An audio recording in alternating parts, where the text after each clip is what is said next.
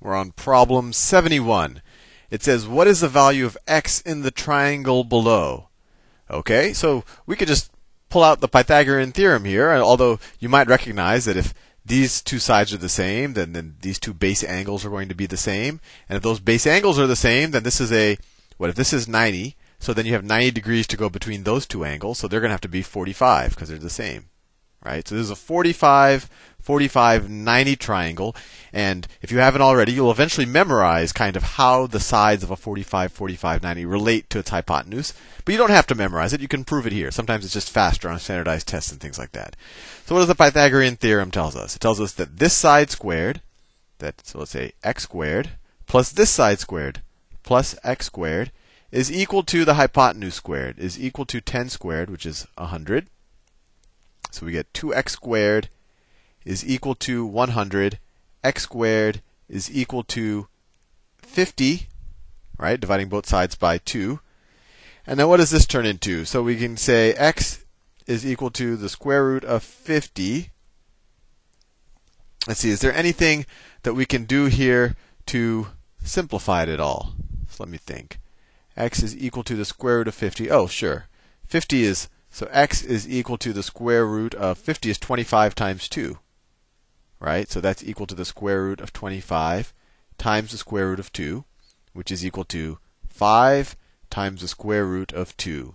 Choice B. Problem 72.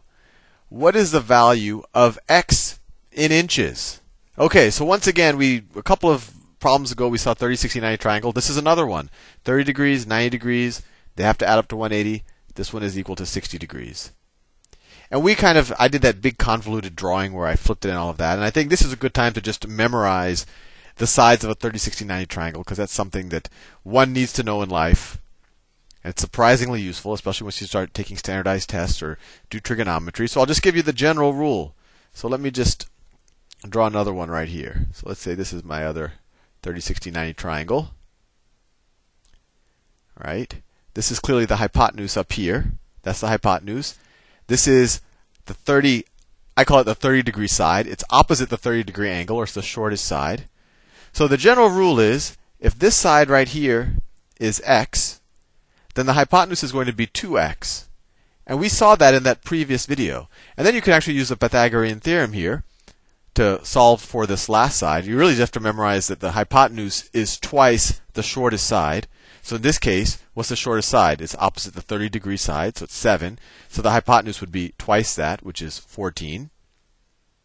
And you could use a Pythagorean theorem to figure out x now, or you could just memorize that the the middle side, I guess you could say, or the long non-hypotenuse side, or the 60 degree side, the opposite the side opposite the 60 degree angle, that's equal to the square root of 3 times the short side times the short side.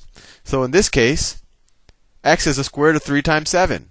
So x is equal to 7 times the square root of 3.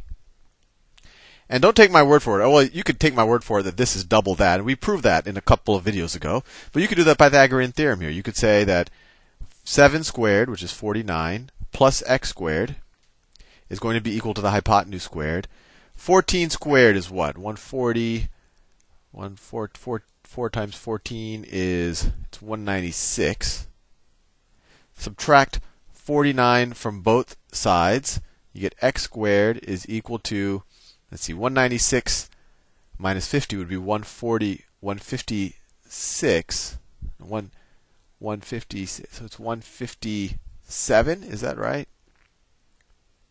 Let me got, let me make sure I got it. 14 times 14. 14 times 14.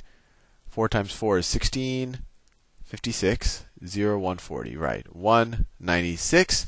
And then if you were to subtract 49 from that, minus 49, you say this is an 8, this is a 16, we have a 7. Sorry, 147. Yeah, it's a good thing I checked that. 147. All right.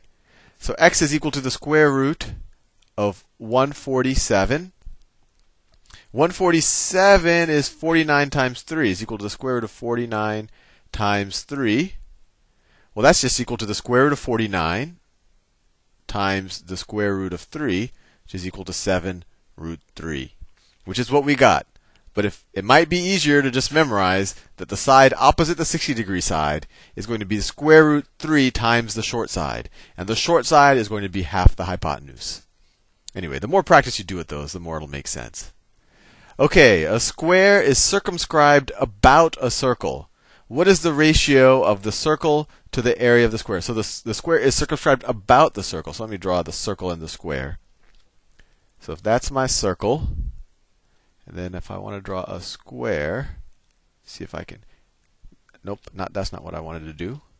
I wanted to draw a solid square. Oh, that's.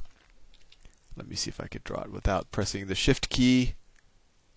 Oh, well, I think that's close enough. So they, we know that the square is on the outside because it's about the circle. It's circumscribed about the circle. What is the ratio of the area of the circle to the area of the square? So let's say that this is the center of the circle right there. This is its radius. Let's call that r. Well, what's the area of the circ of the square going to be? If that's the radius, and this is also the radius, right? So one side of this square up here is going to be 2r. And so this side is also going to be 2r. It's a square. All the sides are the same. So the area of the square, so they want to know the ratio of the area of the circle to the to the area of the square. Okay, so area of circle over the area of the square, right? Area of the circle to the area of the square is equal to the area of the square is just 2r times 2r, which is what? 4r squared. 4r squared, that's 2r times 2r. Area of the circle is just pi r squared. You hopefully you learned the formula of area of the circle. It's just area is pi r squared. So write that down. Pi r squared. Divide the numerator and the denominator by r squared. And you're left with pi to 4. And that's choice D. Problem 74. In the circle below, AB and CD are chords intersecting at E. Fair enough. If AE is equal to 5, so this is equal to 5, let me pick another color. BE is equal to 12. BE is equal to 12. BE is equal to 12. What is the value of DE? B, oh, CE is equal to 6. CE is equal to 6. What is the value of DE? Let's call that X. Now, I'm not going to prove it here just for saving time, but there's a neat property of chords within a circle. That if I have two chords intersecting a circle, it turns out that the two segments, when you multiply them times each other, are always going to be equal to the same thing. So, in this case, 5 times 12, let me write that down. So, this 5 and this 12, so the two segments of chord AB, so 5 times 12 that's going to be equal to these two segments multiplied by each other. And I'll do that in a different color. These two segments. It's going to be equal to x times 6. So you get 60 is equal to 6x, divide both sides by 6, you get x is equal to 10. And that is choice C. And I'll leave it. That might be a fun thing for you to think about after this video of why that is. And maybe you want to play around with chords and prove to yourself that that's always the case. At least that it makes intuition for you. Makes sense. RB is tangent to a, to a circle, right? RB is tangent. Tangent means that it just touches the outside of the circle right there at only one point, and it's actually perpendicular to the radius of that point. So this is the radius of that point, right? The center's at A. This is a radius, and it's tangent at point B, so it's perpendicular to the radius at that point. At point BD is a diameter. Okay, fair enough. Well, that right, A is a A is a center, so that's kind of obvious. I guess well, yeah, it's a line, so that's obvious.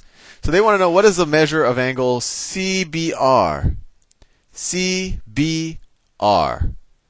C no, no CBR. So they want to know what this angle is equal to. Well, I well I kind of did it inadvertently. We we know that when a line is tangent to a circle, it's perpendicular to the radius at that point. So this whole angle is 90 degrees. So the angle that we're trying to figure out, let's call that x, that's the complement to 25, right? x plus 25 is equal to 90. Subtract 25 from both sides, x is equal to 65 degrees. 65. And that is choice B. next problem. Oh, am I all out? Okay, I'll see you in the next video.